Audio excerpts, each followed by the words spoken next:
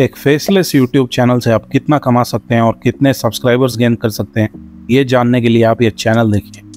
और इस चैनल का आप कंटेंट देखिए। सिर्फ़ और सिर्फ़ क्विज एंड रिडल्स और कुछ भी नहीं। कोई फेस नहीं और कोई आवाज़ भी नहीं। और अब ये वाला चैनल भी आप देख लीजिए। यहाँ भी आपको सेम कहानी मिलेगी। नो फेस नो वॉइस और अब मैं आपको इनकी अर्निंग दिखाता हूँ, जो देख कर आप चौक जाएँगे। तो सोशल ब्लेड के हिसाब से ये चैनल मंथली पाँच हज़ार से लेके दस हज़ार डॉलर्स यानी कि लगभग चार से पाँच लाख रुपए महीने के कमा रहे हैं। और ये मेरी गारंटी है कि ये इससे ज़्यादा ही कमा रहे हैं क्योंकि ये फिगर तो एक्यूरेट भी नहीं है। जनरली लोअर एंड में ही होता है। और आप इनके पर आवर के व्यूज़ भी देख सकते हैं। इतनी पुरानी वीडियोस पर भी अभी हर घंटे 300, 400 और किसी किसी वीडियो में तो हज़ार से भी ऊपर पर घंटे व्यूज़ आ रहे इसका रीज़न सिंपल है। ऐसी वीडियोस लोगों के नॉलेज को चैलेंज करती है। तो इसे हर कोई देखना पसंद करता है। और जनरली ऐसी वीडियोस को लोग पूरा देखते हैं और बाद में कमेंट भी करते हैं कि उन्होंने कितने करेक्ट केसेस किए या क्या स्कोर उन्हें मिला। तो आपको इंगेजमेंट और वॉच टाइम तो अच्छा मिलता ही है लेकिन यूट्यूब भी आपके वीडियो को आगे और भी लोगों तक भेजता है जिससे आपकी वीडियो वायरल होने के चांसेस और भी ज़्यादा बढ़ जाते हैं जिससे आपका चैनल बहुत ही जल्दी ग्रो होता है। तो आपको ऐसी वीडियोस बनाने के लिए क्या चाहिए? वेल well, हफ़्ते में सिर्फ़ 20 मिनट। इससे ज़्यादा नहीं। और मैं आपको पूरा स्टेप बाय स्टेप एक करके दिखाऊँगा आगे इस वीडियो में कि आप सेम टू सेम बिल्कुल इन जैसी वीडियोस कैसे बना सकते हैं, वो भी चैट जीपीटी और कैनवा यूज़ करके। और कैसे आप जितने चाहे उतने शॉर्ट्स रील्स या फिर इवन लॉन्ग वीडियोस बना सकते हैं बल्क क्रिएट का ऑप्शन यूज़ करके। बस एक ही रिक्वेस्ट है, एक भी स्टेप मिस मत करना और वीडियो को स्किप करके मत देखना, नहीं तो फिर बाद में आपको प्रॉब्लम आ सकती है। तो चलिए फिर लेट्स बिगिन तो सबसे पहले आपको चैट जीपीटी में आ जाना है और इसको बोलना है write 500 quiz riddles on guess the drink by emojis ये एग्जैक्ट प्रॉम्प्ट मैं आपको नीचे डिस्क्रिप्शन में दे दूँगा तो आप वहाँ से कॉपी कर सकते हैं। यहाँ से आपको पूरा कंटेंट मिल जाएगा। आप जितनी चाहे उतनी रिडल्स या क्विज चैट जीपीटी से ले सकते हैं, सौ, दो सौ, पाँच सौ, हज़ार, जितनी चाहे उतनी। इसके बाद नेक्स्ट स्टेप में आपको ये सारा डेटा कॉपी करके एक गूगल शीट में पेस्ट कर लेना है। और फिर यहाँ से आपको जो बड़े वाले आंसर्स हैं, वो रिडल्स डिलीट कर देनी है, क्योंकि जब हम कैनवा में बल्क क्रिएट करेंगे तो फिर हमें मैनुअली साइज़ एडजस्ट करने की ज़रूरत नहीं पड़ेगी और आपका टाइम भी बचेगा। चलिए अब चलते हैं हम कैनवा पर। और यहाँ पर सबसे पहले हम वीडियो का साइज़ सेलेक्ट कर लेंगे। अभी मैंने यूट्यूब का साइज़ सेलेक्ट किया है। लॉन्ग वीडियो का आप चाहें तो शॉर्ट्स रील्स कुछ भी बना सकते हैं प्रोसेस सेम ही होगा। अब सबसे पहले आपको साइड बार में एलिमेंट्स में जाकर एक बैकग्राउंड डालना है इसमें। जनरली एक सिंपल बैकग्राउंड ऐसे वीडियोस में चल जाता है। आप चाहें तो कोई बैकग्राउंड वीडियो या फ़ोटो भी इसमें डाल सकते हैं, आपकी चॉइस है। अब इस पर आपको अपने हर सीन का टाइम सेट कर लेना है।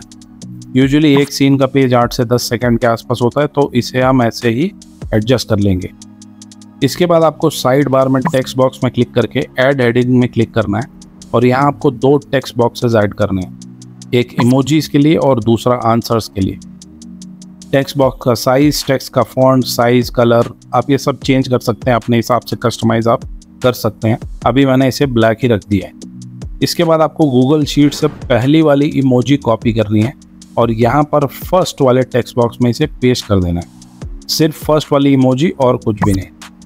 अब इस टेक्स्ट बॉक्स का साइज़ भी हम थोड़ा सा बड़ा कर लेंगे। इसके बाद सिमिलरली आपको फ़र्स्ट वाला आंसर गूगल शीट से कॉपी कर लेना है और सेकेंड टेक्स्ट बॉक्स में इसे पेस्ट कर देना है। तो चलिए, ये भी हो गया। अब हमें टेक्स्ट में एनिमेशन ऐड करना है। तो सबसे पहले फ़र्स्ट टेक्स्ट बॉक्स में क्लिक करके ऊपर ये एनिमेट वाले ऑप्शन पर क्लिक कर लेंगे और फिर यहाँ से हम एक एनिमेशन सेलेक्ट कर लेंगे। जो भी आपको पसंद हो, आप चूज़ कर लीजिए। और इसे हम एंट्री और एग्जिट दोनों पर एनिमेट करेंगे तो बोथ सेलेक्ट कर लेंगे। और एनिमेशन स्पीड भी हम मीडियम ही रखेंगे। ठीक इसी तरह सेकेंड बॉक्स में भी आपको एनिमेशन ऐड कर लेना है। अब आता है एक बहुत ही इंपॉर्टेंट स्टेप और पूरे ध्यान से समझिएगा। अब हमें दोनों टेक्स्ट बॉक्सेस की टाइमिंग एडजस्ट करनी है क्योंकि अभी ये प्ले करने पर दोनों एक साथ आ रहे हैं।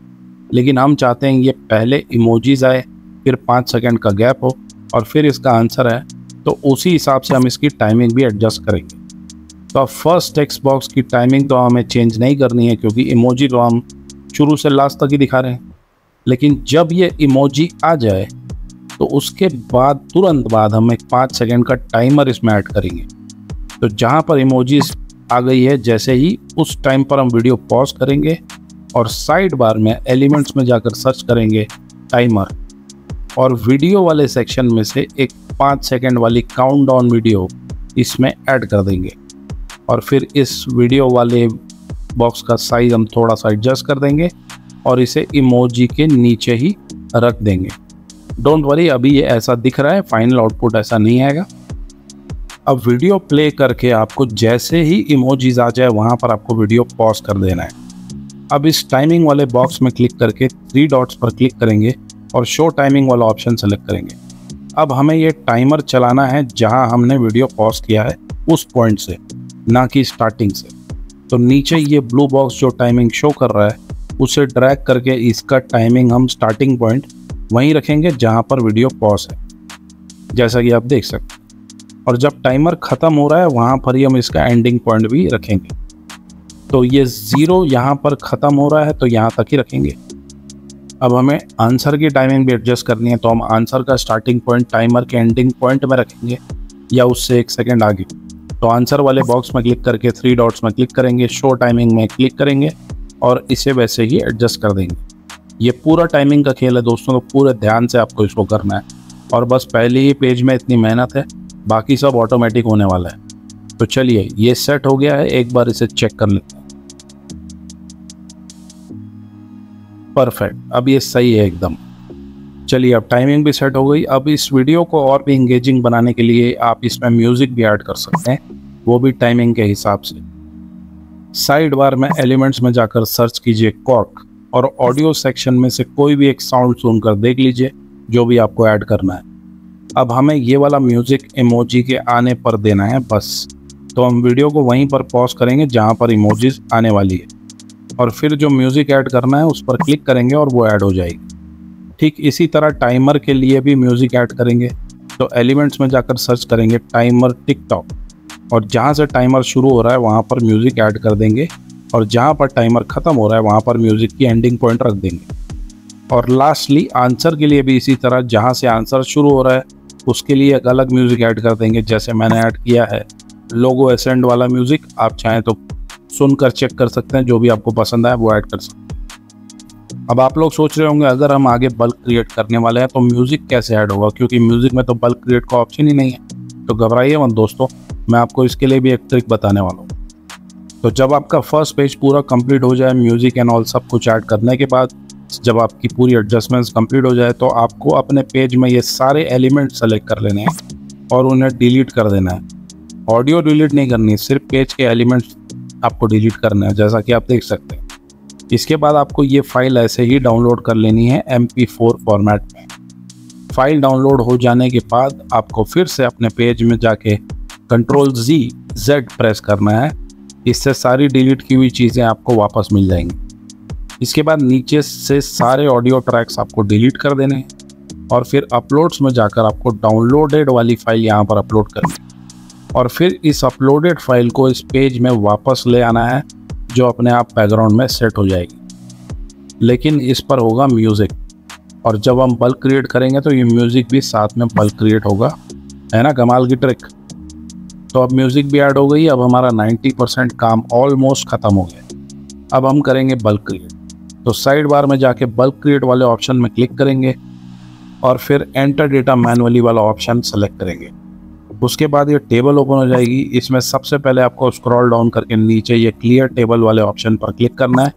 और अब हमें सारा डेटा गूगल शीट से कॉपी करके यहाँ पर पेस्ट करना है। तो हम ये कॉपी करते टाइम पूरा ऊपर से नीचे तक कॉपी करेंगे, जैसा कि आप देख सकते हैं। और पेस्ट करते टाइम भी हम सबसे ऊपर वाले टॉप बॉक्स से ही इसे पेस्ट करेंगे। तो चलिए, ये पेस्ट भी हो गया है। इसके बाद नीचे डन पर क्लिक कर दीजिए। अब हमें ये डेटा अपने डिज़ाइन से कनेक्ट करना है। तो इसके लिए सबसे पहले इमोजी वाले टेक्स्ट बॉक्स पर क्लिक कीजिए और ये थ्री डॉट्स पर क्लिक कीजिए और फिर कनेक्ट डेटा पर क्लिक कीजिए और ये इमोजी वाला ऑप्शन चूज़ कर लीजिए।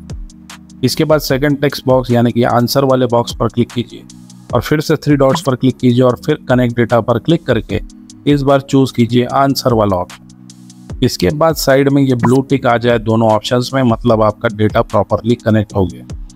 बस इसके नीचे कंटिन्यू पर क्लिक कर दीजिए।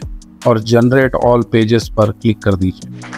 और ये हो गए आपके पूरे pages generate in less than ten minutes चलिए, इसे थोड़ा प्ले करके देख लेते हैं।